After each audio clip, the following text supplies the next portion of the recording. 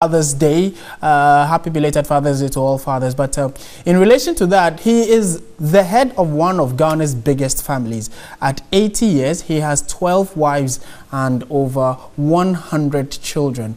As Ghana joins, uh, we joined the rest of the world as on yesterday to celebrate the World Father's Day. Portia Gabor caught up with Togbi Asilenu at Amankrum in the eastern region, who says he will not exchange fatherhood for anything else in the world. Meet Togbi Kofi Asilenu and his entire family. Biologically, Togbi Asilenu has 100 children and still counting. One, two, three. Save your breath. You may lose count because even his children believe they may be more than 100. Everyone in the village of Amakrom knows Togbi Asilenu because he has a unique family. He prides himself in being a father and tells me he won't give up having children even until his last breath. In fact, we were plenty. We were almost 100 or something. And plenty wives and kind of children. So we are here without any problem. He has over 100 children. What, what number are you? I can't remember. His youngest child is around one year and the oldest over 40 years. With over 100 children, does he know all by name? I put the test to him. Ablavi Ashilenu. Yaugan Ashilenu. Anga Ahosu Ashilenu. Sojiri Ashilenu. Boy, boy, boy.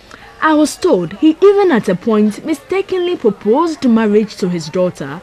Oh yeah, yeah, yeah. That, tell, us about that. Oh, when I met the, the lady and then he, he said he loved, uh, the later on, the lady said his uh, daughter to him. So he said his eyes worrying him. That's why that happened. I'm sure you people loved over it. yeah, we love, we love a lot. One of his wives, Nayume Asilenu, told me the entire family gets along well as theirs is based on mutual respect.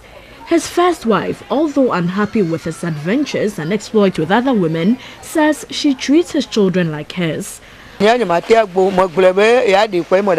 Despite several complaints, he still went ahead and added more women. We all live together in peace with our children. Togbi Asilenu tells me he has not stopped looking for a new wife. He believes in multiplying to fill the earth. Oh,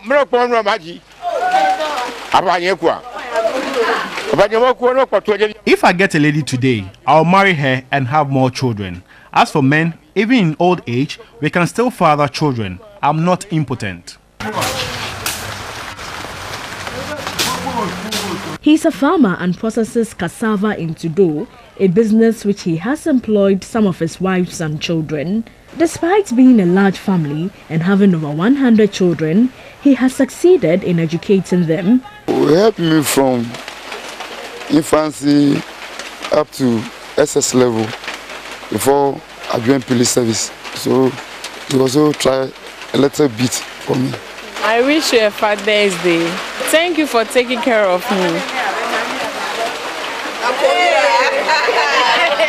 Togbi Asilenu and his family had a message for all fathers. Happy Father's Day! Portia Gabor, TV3.